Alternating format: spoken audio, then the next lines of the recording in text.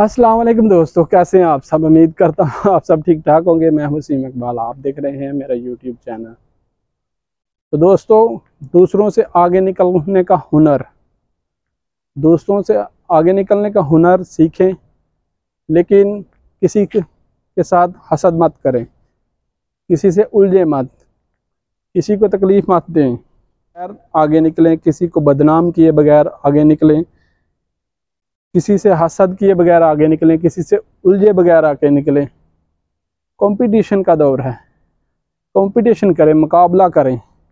ना कि किसी की टांगे खींच कर किसी का हक खा कर आगे निकलने की कोशिश, हरगिज़ मत करना।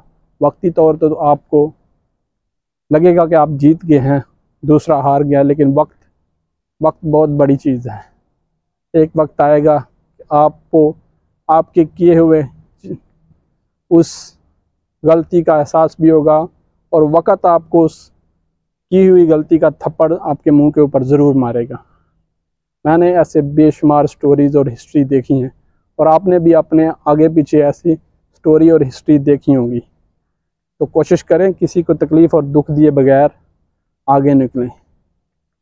का हुनर सीखें। तो दोस्तों, आपने इस भाई की वीडियो को लाइक करें, चैनल को सब्सक्राइब करें। थैंक्स फॉर वाचिंग वीडियो अल्लाह हाफिज़।